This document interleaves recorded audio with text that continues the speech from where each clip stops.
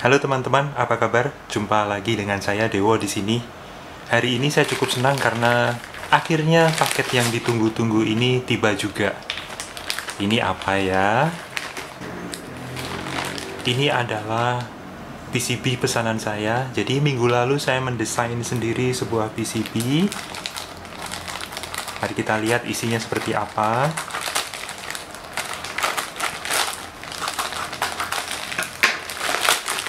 Nah, ini dia. Saya memesan PCB ini dari GLC PCB. Ya, ini GLC PCB. Kita lihat dalamnya seperti apa. Ini dia.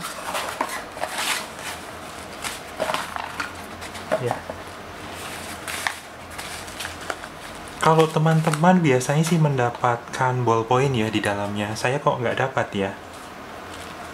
Ya, seharusnya ada ballpointnya, tapi saya nggak dapat. It's okay. Dan kita lihat dalamnya seperti apa. Ini dia. Ini dia PCB-nya.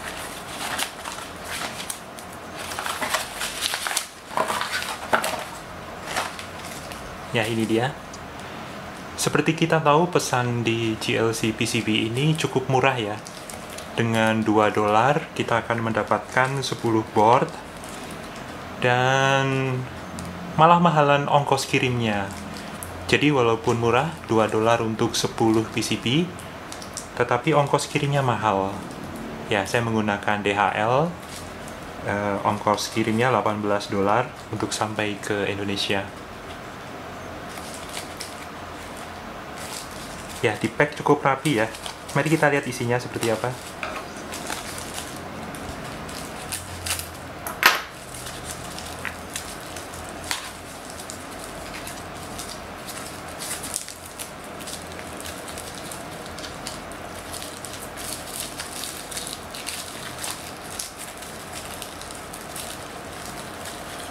Ini dia.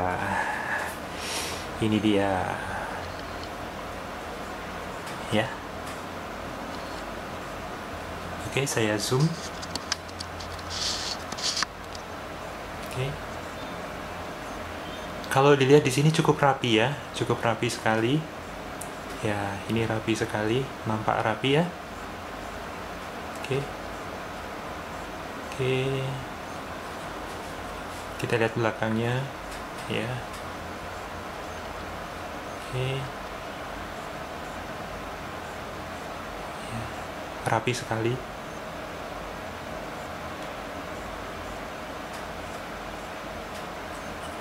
Kebetulan saya desainnya tidak terlalu ruwet, jadi uh, masih kita lihat di sini tidak terlalu banyak berseliweran sambungan-sambungannya. Ya. Ini kalau Anda mau tahu, ini adalah shield untuk chip. Ya, kebetulan saya punya dua chip, chip dari Nextinco.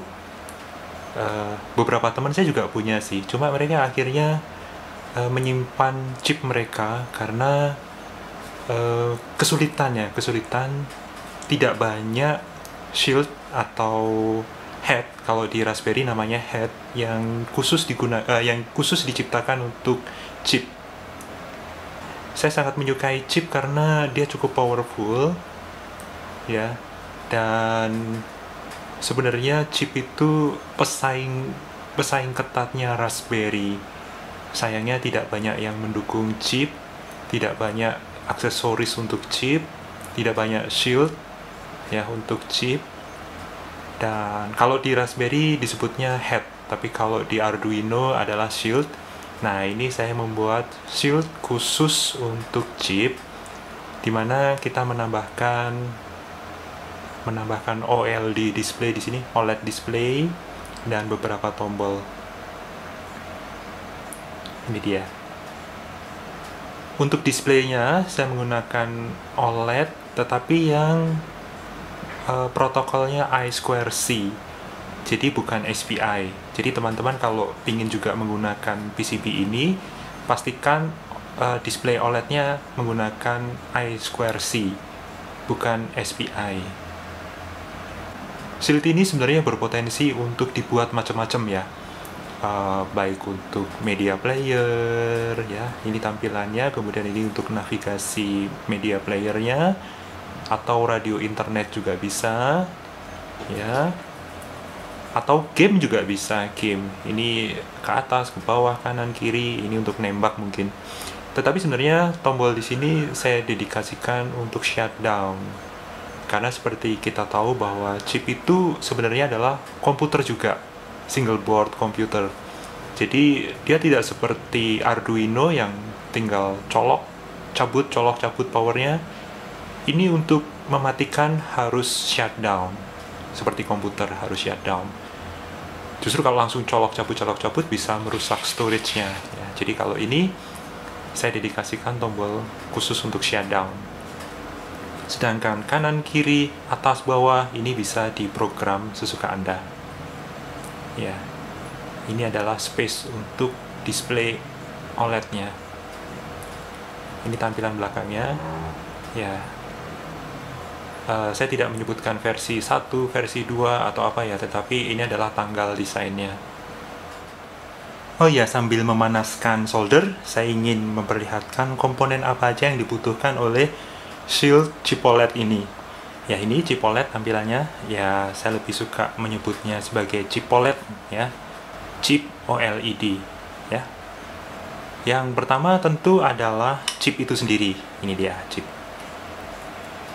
ya ini chip uh, chip ini sebenarnya sebuah single board komputer saingannya Raspberry dan sekarang ini menjadi barang langka karena Nextinco yang membuat chip ini sudah tidak menjual chip yang original seperti ini. Jadi sudah tidak dijual lagi.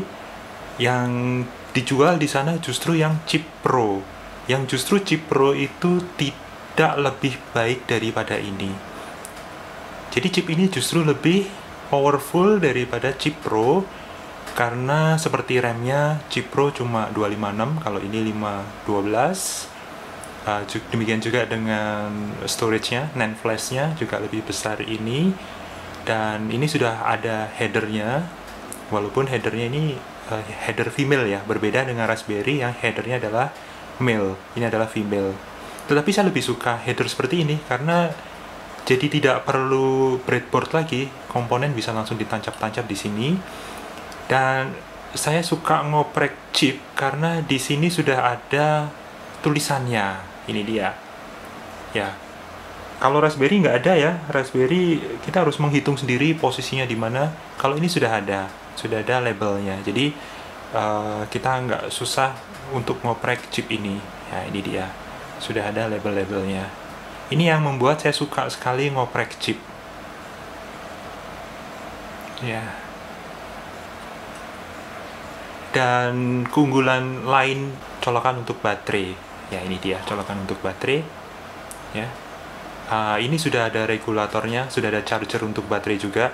Jadi kalau uh, di sini ditancapin baterai, baterai sudah hampir habis, kita tinggal uh, charge dari sini aja ini cukup praktis ya sudah lengkap sekali dan harganya dulu termasuk murah ya 9 dolar di mana Raspberry 35 dolar barulah kemudian ketika muncul Raspberry Pi Zero uh, ini tertelan. Chip ini tertelan. Walaupun waktu pertama kali Raspberry Pi Zero itu belum ada wifi-nya belum ada bluetooth-nya. Kalau ini sudah ada wifi dan bluetooth dan harganya cuma 9 dolar ya mungkin Nextinco menghentikan penjualan chip ini karena mungkin mereka membandrolnya terlalu rendah ya. Jadi mungkin mereka malah rugi. Maklum 9 dolar sudah dapat semuanya di sini ya ini ten cerita tentang chipnya kemudian dari chip OLED ini seperti kita lihat bahwa di sini yang dibutuhkan tentu saja adalah display OLED-nya ya display OLED-nya seperti ini Nah, ini display OLED-nya jangan salah, ini harus menggunakan yang i i square C ya, i square C. Saya memang mendesainnya pakai i square C karena memprogramnya juga mudah dan hemat pin di sini. Jadi pin untuk uh, data cuma cukup butuh dua saja. Ya. Kemudian 5 buah momentary switch. Ya seperti ini. 5 buah. Kebetulan saya punya banyak stok sih untuk switch ini. Ya yang kecil-kecil ya. Ya ini dia. Tentu juga perlu header. Header yang diperlukan di sini adalah yang model mil karena di sini chipnya menggunakan header female. Ya. Oke kayaknya soldernya udah cukup panas. Saya akan menyolder dulu ya. Oke.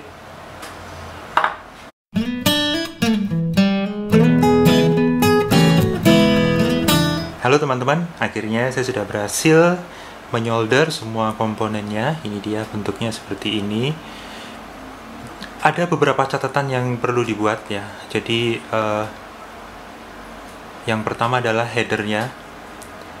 Headernya di sini ternyata untuk menyoldernya agak susah karena ini terlalu banyak ya, terlalu banyak dan karena tipenya seperti ini uh, saya membutuhkan breadboard tetapi menancapkan header ini di breadboard sebelum disolder itu merupakan tantangan sendiri ya karena saking banyak pinnya. Dan begitu selesai pun mencabut mencabut dari breadboardnya harus hati-hati sekali. Harus dicongkel dari ujung sini dulu ujung sana tengah sehingga akhirnya terlepas.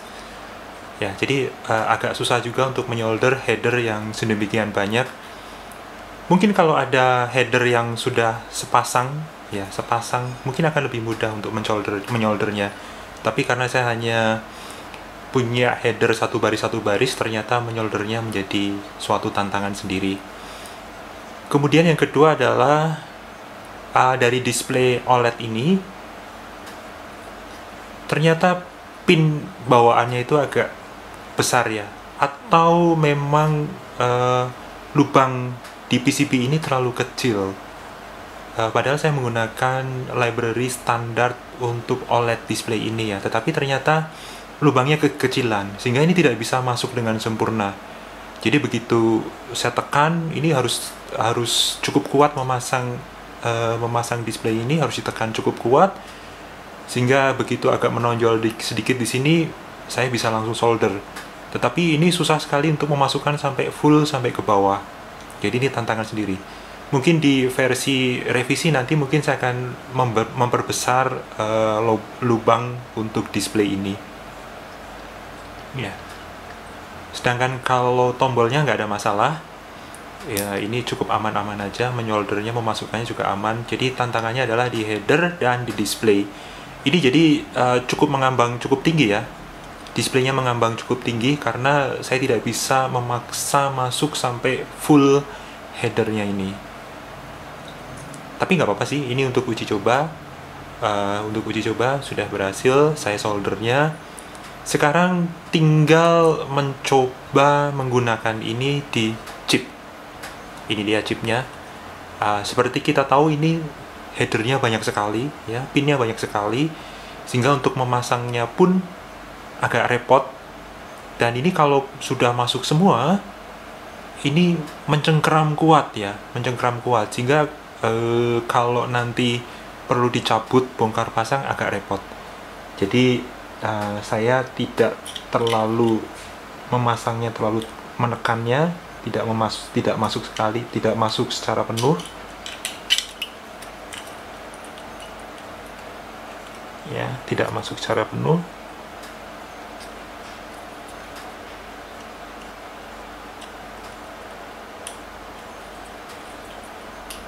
oke okay.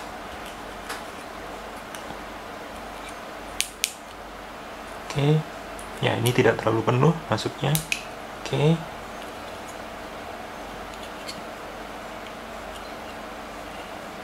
Ya, oke sudah cukup bagus masuknya. Ini sudah cukup bagus masuknya. Sekarang kita mencoba apakah header ini berhasil atau enggak. Uh, untuk tahap awal ini saya hanya mencoba OLED displaynya. Apakah di sini akan menampilkan program yang saya sudah uh, preloaded di sini. Jadi di chip ini saya sudah pasangkan program untuk menampilkan transaksi Bitcoin. Oke, saya power. Saya masukkan powernya. Ini sedang boot up. Kita nunggu sampai muncul tampilan di sini. Apakah berhasil? Semoga berhasil ya teman-teman.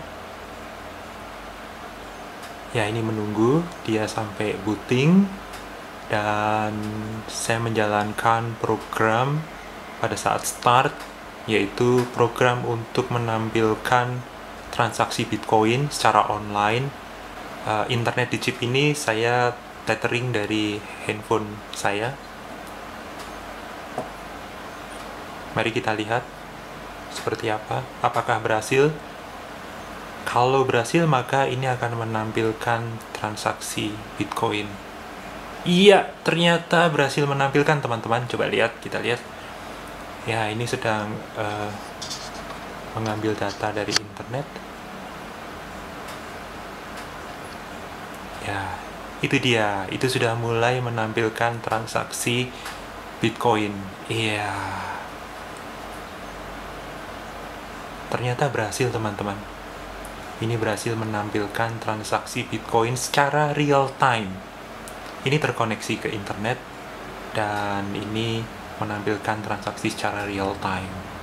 Saya nggak punya Bitcoin ya, tapi kalau ada teman-teman yang mau memberikan saya Bitcoin, saya akan senang sekali. Nanti di video selanjutnya saya akan mendemokan bagaimana cara menggunakan tombol-tombol ini. Saat ini saya hanya hanya menampilkan program untuk menampilkan Bitcoin, belum ada interaksi dengan tombol-tombol ini. Ini saya mengambil contoh dari library-nya LumaCore. LumaCore sudah ada beberapa contoh program bagus-bagus ya, ada jam, ada ini pemantauan Bitcoin, ada tampilan game dan sebagainya. Keren-keren. Jadi saya tidak salah memilih OLED yang I2C. Sebenarnya bisa pakai SPI juga sih, cuma saya memilih I2C karena kebetulan saya punya stok I2C. Sebenarnya saya punya stok juga layar yang color ya, color agak besar 1,8 inch tidak touchscreen uh, mungkin nanti saya akan pakai juga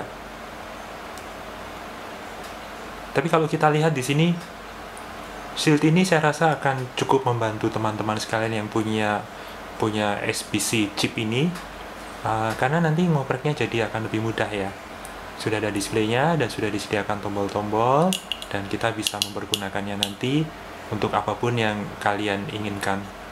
Sementara itu dulu dari saya. Kalau ada pertanyaan silahkan dituliskan di komentar. Ya. Oke, sampai jumpa lagi di lain kesempatan. Bye.